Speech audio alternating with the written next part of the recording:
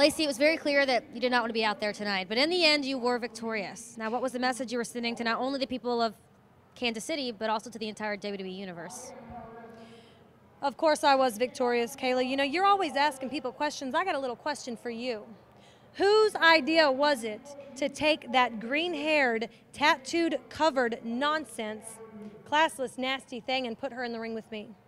Let me tell you and everybody else listening to Lacey Evans, I am the future of this company. I am what you and everybody else needs as a role model. I, unlike all of the women in this division, is champion material. And until that happens, I will continue to set the proper example and get rid of those nasty things, starting with you, so get out of my face.